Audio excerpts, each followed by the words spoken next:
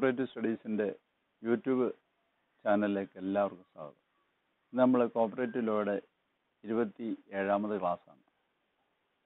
കഴിഞ്ഞ ക്ലാസ്സിൽ നമ്മൾ ഓഡിറ്റ് സഹകരണ നിയമത്തിൽ ഓഡിറ്റിന്റെ സെക്ഷൻസ് റൂൾസുമാണ് തുടങ്ങിയത്. അതിന്റെ രണ്ടാം ഭാഗമാണിത്. കഴിഞ്ഞ ക്ലാസ്സിൽ നമ്മൾ അറുപത്തി മൂന്നും അറുപത്തിനാലും സെക്ഷൻസ് ആണ് നമ്മൾ പഠിച്ചത് ഓഡിറ്റിനെ പറ്റി. ഇന്ന് റൂൾസാണ് നോക്കുക. ഓഡിറ്റിനെ പറ്റി സഹകരണ നിയമത്തിൽ പറയുന്ന റൂൾസ് എന്ന് പറയുന്ന റൂൾ അറുപത്തിനാലും അറുപത്തഞ്ചുമാണ്.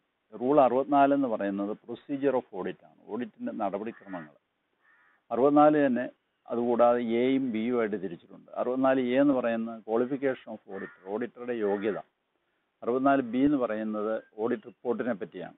അതുപോലെ റൂൾ അറുപത്തഞ്ച് എന്ന് പറയുന്നത് ലെവി ഓഫ് ഓഡിറ്റ് ഫീസാണ് ഓഡിറ്റ് ഫീസ് ഈടാക്കുന്നതിനെ പറ്റിയാണ്. ഇത് നമുക്ക് ഓരോന്ന് വിശദമായിട്ട് നമുക്ക് എന്താണ് പ്രൊസീജിയർ ഓഫ് ഓഡിറ്റ് റൂൾ അറുപത്തിനാലിൽ പറയുന്നത് എന്താണെന്ന് നമുക്ക് നോക്കാം. റൂൾ അറുപത്തിനാലിൽ പറയുന്നത് എന്താണെന്ന് വെച്ച് കഴിഞ്ഞാൽ ഒരു ഓഡിറ്റ് നടത്തുന്നത് ഡയറക്ടർ ഓഫ് കോപ്പറേറ്റീവ് ഓഡിറ്റ് ആണെന്ന് നമ്മൾ കണ്ടു. ഈ ഡയറക്ടർ ഓഫ് കോപ്പറേറ്റീവ് ഓഡിറ്റ് വർഷത്തിലൊരിക്കൽ എല്ലാ സഹകരണ സംഘങ്ങളും സാമ്പത്തിക വർഷം അവസാനിച്ചു കഴിഞ്ഞാൽ ഒരു വർഷത്തിനകം ആ സംഘത്തിന്റെ ഓഡിറ്റ് നടത്തിയിരിക്കണം. അതിനുള്ള ചുമതല നടത്തിയിരിക്കേണ്ട ചുമതല അതാത് ഭരണസമിതിക്കാണ്.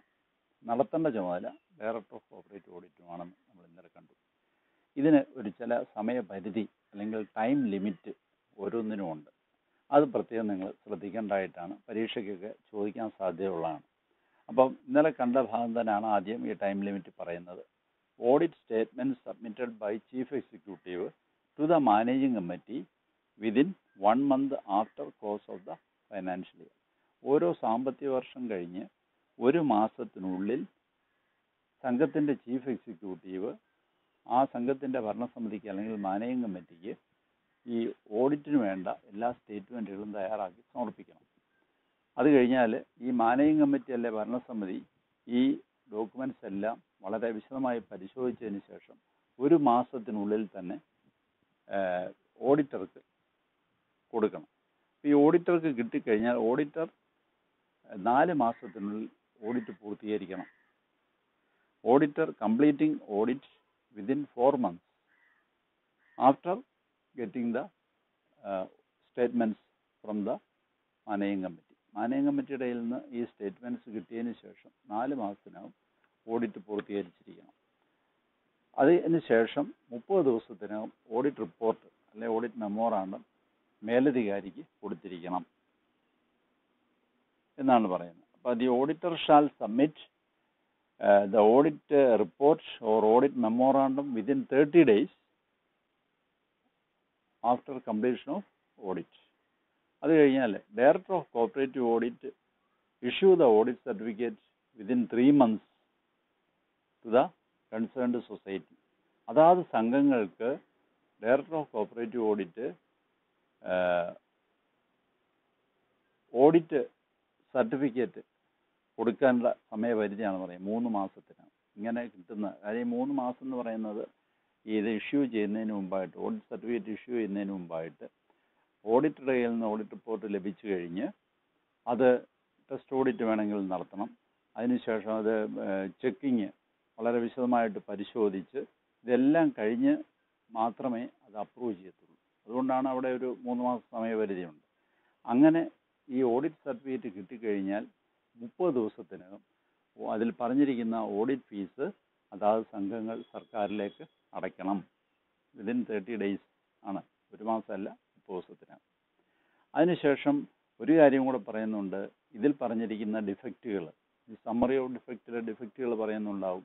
ആ ഡിഫക്റ്റുകളും ഈ ഓഡിറ്റ് റിപ്പോർട്ടും എല്ലാം ജനറൽ ബോഡിയിൽ ചർച്ച ചെയ്തതിന് ശേഷം ആ ഡിഫക്റ്റുകൾ തിരുത്തി രണ്ട് മാസത്തിന് ഓഡിറ്റ് സർട്ടിഫിക്കറ്റ് കിട്ടി വിതിൻ ടു മന്ത്സ് ഇതെല്ലാം റെക്ടിഫൈ ചെയ്ത് ഡയറക്ടർ ഓഫ് കോപ്പറേറ്റീവ് ഓഡിറ്റിനെ റിപ്പോർട്ട് ചെയ്തിരിക്കണം. അതായത് ഭരണസമിതി.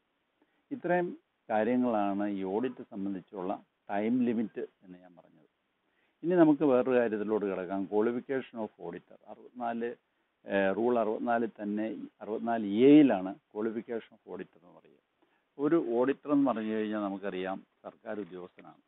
അപ്പോൾ ഡയറക്ടർ ഓഫ് കോപ്പറേറ്റീവ് ഓഡിറ്റിന്റെ കീഴിൽ പ്രവർത്തിക്കുന്ന ഒരു സർക്കാർ ഉദ്യോഗസ്ഥനാണ് ഓഡിറ്റർ ഇനി ഈ ഓഡിറ്റർക്ക് നിശ്ചിത ക്വാളിഫിക്കേഷൻസ് ഉണ്ടായിരിക്കണം. ക്വാളിഫിക്കേഷൻസ് എന്ന് പറഞ്ഞു കഴിഞ്ഞാൽ അദ്ദേഹത്തിന് ഡിഗ്രി അല്ലെങ്കിൽ പോസ്റ്റ് ഗ്രാജുവേഷൻ ഡിഗ്രി അതുകൂടാതെ സംസ്ഥാന സഹകരണ യൂണിയൻ നൽകുന്ന എ ഡി സി അല്ലെങ്കിൽ എച്ച് ഡി സി അല്ലെങ്കിൽ H D C and B M അതേതെങ്കിലും പാസ്സായിരിക്കണം അല്ലെങ്കിൽ national council for cooperative training N C C T New Delhi അവിടുന്ന് ഇഷ്യൂ ചെയ്യുന്ന എച്ച് ഡി സി എം എന്ന് പറയുന്ന ആ ഡിപ്ലോമ ഉണ്ടായിരിക്കണം. അല്ലെങ്കിൽ സംസ്ഥാനത്തെ യൂണിവേഴ്സിറ്റികൾ നൽകുന്ന കൊമേഴ്സിലുള്ള ബിരുദവും സഹകരണ ഐച്ഛ്യ വിഷയമായ എടുത്തിട്ടുള്ള കൊമേഴ്സ് ബിരുദം അതായത് ബി കോം വിത്ത് കോപ്പറേഷൻ അല്ലെങ്കിൽ കാർഷിക സർവകലാശാല നൽകുന്ന B S C cooperation and banking ഇത്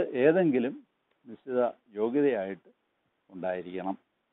ഇങ്ങനെ ആണ് ഈ ക്വാളിഫിക്കേഷനെ പറ്റി പറയുക. ഇനി അറുപത്തിനാല് ബി പറയുന്നത് എന്താണെന്ന് വെച്ച് കഴിഞ്ഞാൽ ഓഡിറ്റ് റിപ്പോർട്ടാണ് ഓഡിറ്റ് റിപ്പോർട്ട് എന്ന് പറയുന്ന ഓഡിറ്റ് മെമ്മോറാണ്ടം ഓഡിറ്റ് നോട്ട് എന്നൊക്കെ അതിന് പേരുകളുണ്ട്. അത് പ്രത്യേകം ശ്രദ്ധിക്കുക. Audit report audit memorandum audit note ഇതെല്ലാം ഒന്ന് തന്നെയാണ്. ഈ ഓഡിറ്റ് റിപ്പോർട്ട് എന്ന് പറഞ്ഞാൽ അതിനകത്ത്. ഈ സംഘത്തിന്റെ സാമ്പത്തിക വർഷ അവസാനത്തെ ബാലൻസ് ഷീറ്റ് അതുപോലെ trading account profit and loss account അങ്ങനെയുള്ള എല്ലാ വർഷാവസാന കണക്കുകളും സ്റ്റേറ്റ്മെന്റുകളും എല്ലാം അതിൽ ഉൾ ഉൾക്കൊള്ളിച്ചിരിക്കും. അതുകൂടാതെ തന്നെ ആഡിറ്റ് റിപ്പോർട്ടിൽ ആഡിറ്റർ കണക്കുകൾ പരിശോധിച്ചതിന് ശേഷം അതിൽ കാണുന്ന ആഡിറ്റ് മെമ്മോറാണ്ടത്തിൽ ചില വസ്തുതകൾ രേഖപ്പെടുത്തേണ്ടതായിട്ടുണ്ട്. അതിൽ പ്രിന്റ് ചെയ്തിരിക്കും. അത് യെസ് ഓർ നോ എന്നുള്ള ആൻസർ ഓഡിറ്റർ അതിൽ കൊടുത്തിരിക്കണം. അതായത് ഓഡിറ്ററുടെ അറിവിലും വിശ്വാസത്തിലും എല്ലാ വിവരങ്ങളും വിശദീകരണങ്ങളും ഓഡിറ്റിന് ആവശ്യമായിട്ടുള്ള എല്ലാ കാര്യങ്ങളും ലഭിച്ചിരുന്നു. അതുപോലെ ഓഡിറ്റ് അഭിപ്രായത്തിൽ സഹകരണ നിയമം ചട്ടങ്ങൾ ബൈലോ വ്യവസ്ഥകൾ ഇതെല്ലാം അനുസരിച്ച് തന്നെ ആണോ സംഘത്തിലെ എല്ലാ കണക്കുകളും സൂക്ഷിച്ചിട്ടുണ്ടോ? അങ്ങനെയുള്ള കാര്യങ്ങൾ.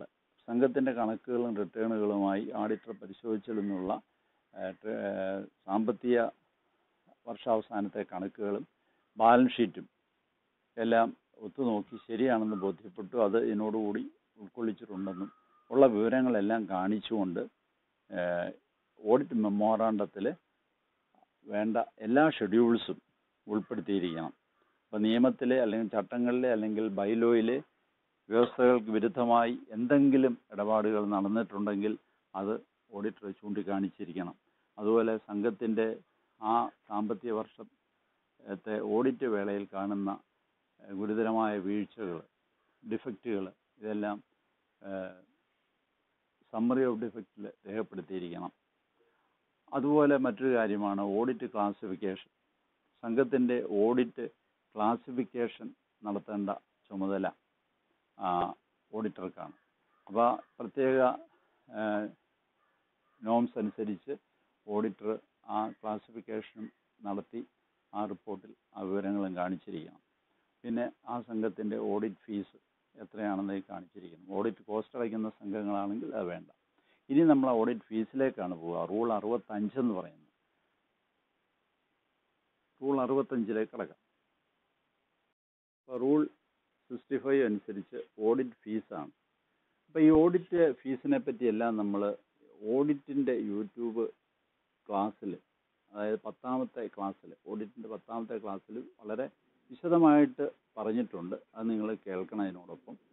എന്നിരുന്നാലും ഞാൻ ഒന്ന് ചുരുക്കി പറയുകയാണ്. ഓഡിറ്റ് ഫീസ് എത്രയാണെന്നുള്ള വിവരം. അത് ഓഡിറ്റ് കോസ്റ്റിനെ പറ്റി ഞാനിവിടെ സൂചിപ്പിക്കുന്നില്ല. ഓഡിറ്റ് ഫീസ് ഓരോ സംഘത്തിന്റെയും ഓഡിറ്റ് ഫീസ് സർക്കാരിലേക്കാണ് അടയ്ക്കേണ്ടത്. കാര്യം ഓഡിറ്റർ എന്ന് പറയുന്ന ഒരു സർക്കാർ ഉദ്യോഗസ്ഥനായതിനാൽ ഓഡിറ്റർക്ക് നേരിട്ട് ഓഡിറ്റിന്റെ പ്രതിഫലം കൊടുക്കാൻ പാടില്ല സംഘം. അത് സർക്കാരിലേക്ക് അടയ്ക്കുകയാണ് ചെയ്യുക ഓഡിറ്റ് ഫീസ് കണക്കാക്കുന്നത് ഓരോ നൂറ് രൂപയ്ക്കും അമ്പത് പൈസ എന്നുള്ള ക്രമത്തിൽ പരമാവധി ഒരു ലക്ഷം രൂപ. അപ്പോൾ ഓഡിറ്റ് ഫീസിന്റെ മാക്സിമം ലിമിറ്റ് എന്ന് പറയുന്നത് ഒരു ലക്ഷം രൂപയാണ്. ഇത് എങ്ങനെയാണെന്ന് പറഞ്ഞാൽ ഓരോ വർഷവും ആ വർഷത്തിന്റെ അവസാന ഓഡിറ്റ് വർഷത്തിന്റെ അവസാന ദിവസത്തെ പ്രവർത്തന മൂലധനം അല്ലെങ്കിൽ വർക്കിംഗ് ക്യാപിറ്റൽ അതുപോലെ തൻവർഷത്തെ മൊത്തം വിൽപ്പന അല്ലെങ്കിൽ തൻവർഷത്തെ ആകെ വരുമാനം ഇത് ഏതാണോ ഓരോ സംഘത്തിനും അതനുസരിച്ച് വേണം കണക്കാക്കാൻ. ഓരോ സംഘത്തിന്റെ സ്വഭാവം അനുസരിച്ച് അവരുടെ വർക്കിങ്ങിന്റെ സ്വഭാവം അനുസരിച്ച് വേണം ഇത് കണക്കാക്കാൻ. അങ്ങനെ കണക്കാക്കിയാണ് ഓഡിറ്റ് ഫീസ് അടയ്ക്കേണ്ടത്. ഇപ്പോൾ ഓഡിറ്റ് ഫീസ് ഒരു ക്രെഡിറ്റ് സംഘത്തെ സംബന്ധിച്ചാണ് വർക്കിംഗ് ക്യാപിറ്റൽ മേലായിരിക്കും. അതുപോലെ കാർഷിക ഗ്രാമവികസന ബാങ്കുകൾക്കും ഹൗസിംഗ് സൊസൈറ്റികൾക്കും ആണെങ്കിൽ ആ ഓഡിറ്റ് വർഷത്തിൽ കൊടുത്തതും തിരിഞ്ഞു കിട്ടിയതുമായ ലോണിന്റെ അടിസ്ഥാനത്തിലായിരിക്കും. അതുപോലെ തന്നെ നോൺ ക്രെഡിറ്റ് ആക്ടിവിറ്റീസ് ഉള്ള സംഘങ്ങളാണെങ്കിൽ വർക്കിംഗ് ക്യാപിറ്റലിന്മേലോ അല്ലെങ്കിൽ സെയിൽസ് പ്രൊസീഡ്സോ ഏതാണോ കൂടുതൽ അതിന്മേലായിരിക്കും. അതുപോലെ ട്രാൻസ്പോർട്ട് സൊസൈറ്റികൾക്ക് അവരുടെ ഹയർ ചാർജസിന്റെ മേലായിരിക്കും കണക്കാക്കുക. അതുപോലെ സാധനങ്ങൾ വിൽക്കുന്ന കൺസ്യൂമർ സംഘങ്ങൾ പോലുള്ള സംഘങ്ങളാണെങ്കിൽ അത് സെയിൽസ് പ്രൊസീഡ്സ് വിറ്റുവരവിന്മേലായിരിക്കും കണക്കാക്കുക. അതുപോലെ മറ്റെല്ലാ സംഘങ്ങൾക്കും ഗ്രോസ് ഇൻകത്തിന്റെ അടിസ്ഥാനത്തിലായിരിക്കും കണക്കാക്കുക അങ്ങനെ അതിനെപ്പറ്റി വിശദീകരിച്ച് നോംസ് പറയുന്നുണ്ട്. അങ്ങനെയാണ് നമ്മൾ ഈ ഓഡിറ്റർ അത് കാൽക്കുലേറ്റ് ചെയ്യുന്നത്. അതുപോലെ ചില സംഘങ്ങളെ ഓഡിറ്റ് ഫീസ് ഇന്ന് ഒഴിവാക്കിയിട്ടുണ്ട്. അത് നമുക്ക് നോക്കാം. എല്ലാ സംഘങ്ങളെ ആദ്യത്തെ ഒരു വർഷം ഓഡിറ്റ് ഫ്രീ ആണ് ഓഡിറ്റ് ഫീസ് അടയ്ക്കേണ്ടതില്ല. അതുപോലെ എല്ലാ എസ് സി എസ് ടി സംഘങ്ങൾക്കും ഓഡിറ്റ് ഫീസ് വേണ്ട. അത് ഫെഡറേഷന് ഫിഫ്റ്റി പെർസെന്റ് നേരത്തെ ഉണ്ടായിരുന്നു. അതും ഒഴിവാക്കിയിട്ടുണ്ട്. അപ്പം സ്ഥാപനമായ എസ് സി എസ് ടി ഫെഡറേഷനും ഇപ്പോൾ ഓഡിറ്റ് ഫീസ് വേണ്ട. അതുപോലെ തന്നെ കൈത്തറി സംഘങ്ങൾക്ക് ആദ്യത്തെ ആറ് വർഷത്തേക്ക് ഓഡിറ്റ് ഫീസിൽ നിന്ന് ഒഴിവാക്കിയിട്ടുണ്ട്. പിന്നെ വനിതാ സൊസൈറ്റി ഡെയറി കോപ്പറേറ്റീവ് സൊസൈറ്റി അതൊക്കെ അവരെ അവരുടെ സംഘങ്ങൾ സംഘത്തിന്റെ അങ്ങനെയുള്ള സംഘങ്ങൾ ഓഡിറ്റ് ഫീസിന്റെ ഫിഫ്റ്റി പെർസെന്റ് അതായത് പകുതി അടച്ചാൽ മതി. അതുപോലെ സംഘങ്ങളെ സംബന്ധിച്ച് ക്രെഡിറ്റ് സൊസൈറ്റികളുടെ വർക്കിംഗ് ക്യാപിറ്റൽ രണ്ടായിരത്തിൽ അധികരിക്കുക അധികരിക്കുകയും അതുപോലെ തന്നെ സെയിൽസ് അല്ലെങ്കിൽ ഗ്രോസ് ഇൻകം പതിനായിരത്തിൽ അധികരിക്കാതിരിക്കുകയും അപ്പോൾ അവരുടെ വർക്കിംഗ് ക്യാപിറ്റൽ രണ്ടായിരത്തിൽ അധികരിക്കാതിരിക്കുകയും സെയിൽസ് ഇൻകം ഗ്രോസ് ഇൻകം അല്ലെങ്കിൽ സെയിൽസ് പതിനായിരത്തിൽ അധികരിക്കാതിരിക്കുകയും ചെയ്യുന്ന ക്രെഡിറ്റ് സംഘങ്ങളെ സംബന്ധിച്ചും ഒഴിവാക്കിയിട്ടുണ്ട്. പ്രൈമറി കയർ കോപ്പറേറ്റീവ് സൊസൈറ്റികൾ ഫിഷർമാൻ സൊസൈറ്റികൾ ഇവരെയെല്ലാം ഓഡിറ്റ് ഫീസിൽ നിന്ന് ഒഴിവാക്കിയിട്ടുണ്ട്. ഇതൊക്കെയാണ് ഓഡിറ്റ് ഫീസിനെ പറ്റി റൂൾ സിക്സ്റ്റി ഫൈവിൽ പറയുന്നത്. അപ്പോൾ ഇത് നിങ്ങൾ ആ ഓഡിറ്റ് ക്ലാസ് ഒന്നും കൂടെ കേൾക്കണമെന്ന് ഞാൻ വീണ്ടും ഓർമ്മിപ്പിക്കുകയാണ്. എന്നാലേ നിങ്ങൾക്ക് ഓഡിറ്റ് ഫീസിനെ പറ്റി ശരിയായ ഒരു വിവരം നിങ്ങൾക്ക് ലഭിക്കുകയുള്ളൂ. ഓഡിറ്റ് ഫീസ് ഓഡിറ്റ് കോസ്റ്റും നമ്മൾ വ്യത്യാസമല്ല അതിനകത്ത് പറയുന്നുണ്ട് അപ്പം നമ്മൾ അറുപത്തിമൂന്ന് അറുപത്തിനാല് വകുപ്പുകളും അറുപത്തിനാല് അറുപത്തഞ്ച് റൂളുകളുമാണ് സഹകരണ നിയമത്തിൽ ഓഡിറ്റിനെ പറ്റി പറഞ്ഞിരിക്കുന്നതെന്ന് മനസ്സിലായല്ലോ. കഴിഞ്ഞ ഈ രണ്ട് ക്ലാസ്സുകളായിട്ട് നിങ്ങൾ വിശദമായിട്ട് രണ്ട് ക്ലാസ്സുകൾ പല ആവർത്തി കേൾക്കണം കേട്ട് പഠിക്കുക. ഇതിൽ നിന്ന് പല ചോദ്യങ്ങളും നിങ്ങൾക്ക് പ്രതീക്ഷിക്കാം. ഈ അറുപത്തിനാല് ബിയിൽ ഡി സി എ സംബന്ധിക്കുന്ന ഡി സി എയുടെ ക്വാളിഫിക്കേഷനും കൂടെ പറയുന്നുണ്ട്. അതും കൂടെ നമുക്കൊന്ന് അത്ര പ്രാധാന്യം അതിനകത്ത് ചോദ്യങ്ങളൊന്നും ചോദിക്കാനില്ലെങ്കിൽ നമുക്കൊന്ന് അറിഞ്ഞിരിക്കണം. കാര്യം അത് അറുപത്തിനാല് ബിയിലാണ് പറയുന്നത്.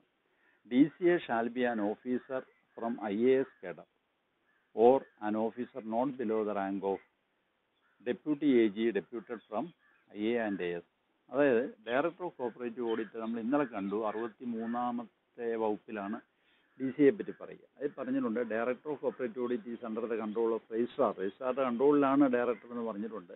പക്ഷെ അദ്ദേഹം ഒരു ഐ എ എസ് ഉദ്യോഗസ്ഥനോ അല്ലെങ്കിൽ ഐ എ ആൻഡ് എസ് എന്ന് പറഞ്ഞ ഇന്ത്യൻ ഓഡിറ്റ് ആൻഡ് അക്കൗണ്ട് സർവീസിലെ ഡെപ്യൂട്ടി അക്കൗണ്ടന്റ് ജനറൽ റാങ്കിൽ കുറയാത്ത ഒരു ഉദ്യോഗസ്ഥനോ ആയിരിക്കണം എന്ന് പറയുന്നുണ്ട്. അപ്പോൾ ഇതിൽ ഏത് വേണേ ആ ഒരു ഇതിൽപ്പെട്ട ആൾ- ആളെ വേണേ നമുക്ക് ഈ സർക്കാരിന് നിയമിക്കാം.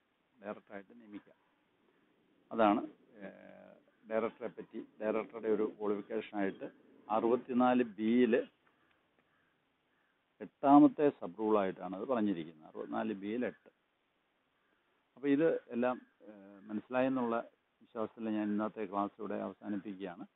അടുത്ത സെക്ഷനുമായിട്ട് അടുത്ത ക്ലാസ്സിൽ നമുക്ക് കാണാം. എല്ലാവർക്കും നന്ദി. റൂൾ